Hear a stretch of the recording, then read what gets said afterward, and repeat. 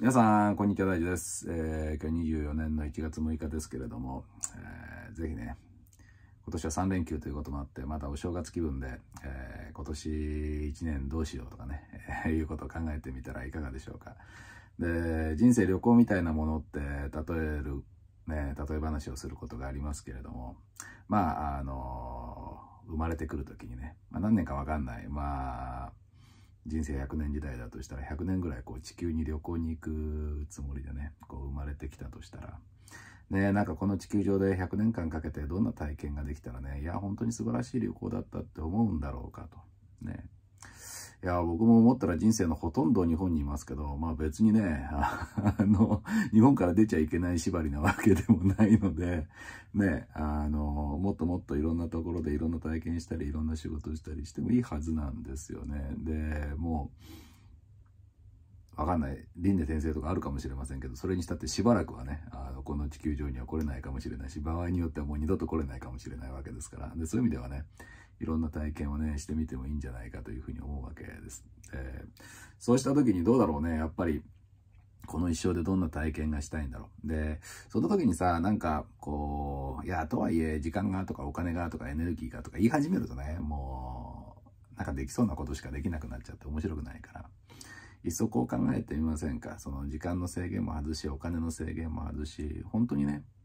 何でもやっていいよっていう旅行だとしたらどんなことしてみたいんだろうと。でそんな風に考えてみた時にいやいやこんな体験してみたいこんな人と出会いたいこんなもの食べてみたいってあるじゃないですか。でやっぱりそういうのをいっぱいいっぱいこうリストアップしておいてで大切なのはそれそのものやるっていうのもいいんだけどねやっぱ絶対にこれやりたいっていうのはそのものをやるために何年かけたっていいじゃないですか。だけど我々にはね、日々エッセンスを引き出すっていうのがあるんで、なんかそれの本質って何なんだろう？ね、どういうところがいいんだろうってこう考えると、ね、なんか形を変えて実現できたりするパターン、じゃあ他にはどんな体験の中にね、似たような要素があるんだろうって、こういうふうに展開させていくと、何かね、違った形でも楽しめるものがあるかもしれない。ね。で、なのでね、ぜひぜひまずはね、えー、時間とかお金とか、なんかエネルギーとか なんとかとか体力とかね、そういうの全部外して、やっぱり人生の中でやりたいことって考えてみるといいんじゃないかなと思います。そして、今年1年に関してもそうです。なんかね、えー時間がとかお金がとか家族がとかね、なんとかって考え始めると ね、あの、本当に現実的なことしかできないから、まあ、ぜひね、えー、ちょっと一回制限を外してね、で、時間もお金も、で、みんなのね、自由になるし、みんなの協力も得られるっていう前提で、いや、それだったらこんなことやってみたいな、あんなことやってみたいなっていうことをいっぱいこう出してみて、ね、で、そうすると、あ、やっぱりこれ絶対やろうってね、なんか今年やろうっていうのも出てくるし、ね、まあ3年かけてやろうとか5年かけてやろうも出てきてもいいし、まあ一生の中でね、やっぱりちょっとでもそれに近い体験したいなとかっていうのだって構わないじゃないですか。そうやって自分のね、この未来の この予定帳をこう埋めていくというかね。で、そうすると、あの、なんていうのかな。え、今できそうなことだけやってるとずっとそういうね、観点でしかこう人生を送っていけなくなるかもしれないけど、ね。